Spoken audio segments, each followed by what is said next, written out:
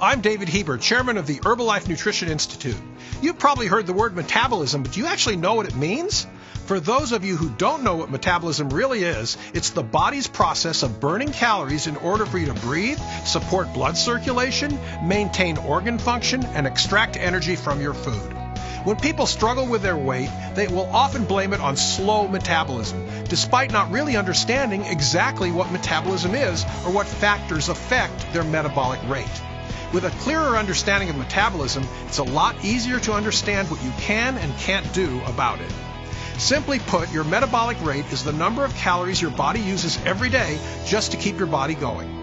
Sometimes it's called your resting metabolic rate because it's referring only to those calories you burn at rest to keep organs like your brain, heart, and lungs functioning. About 75% of the calories you burn every day are used just for these basic processes.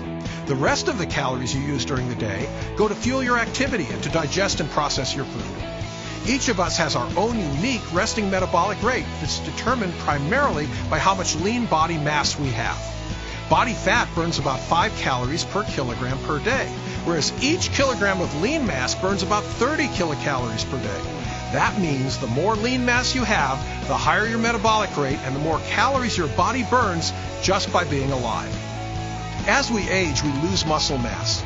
Unless we combine exercise, including resistance exercise, with adequate protein intake, our metabolism will also slow down.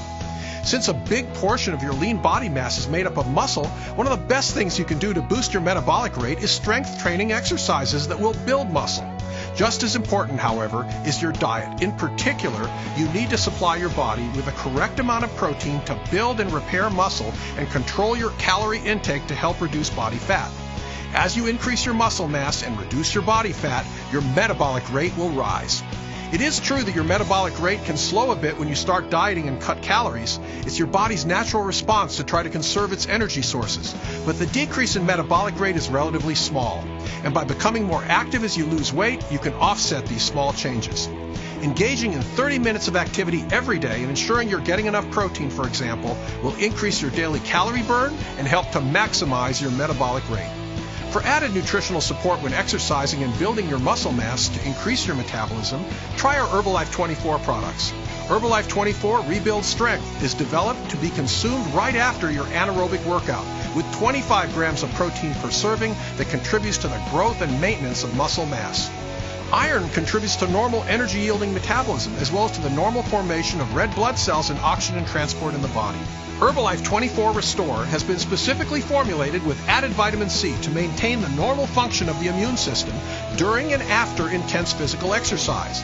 Restore contains 150 milligrams of lactium, a unique bioactive peptide derived from casein protein, as well as 100% NRV of vitamin E to protect cells from oxidative stress.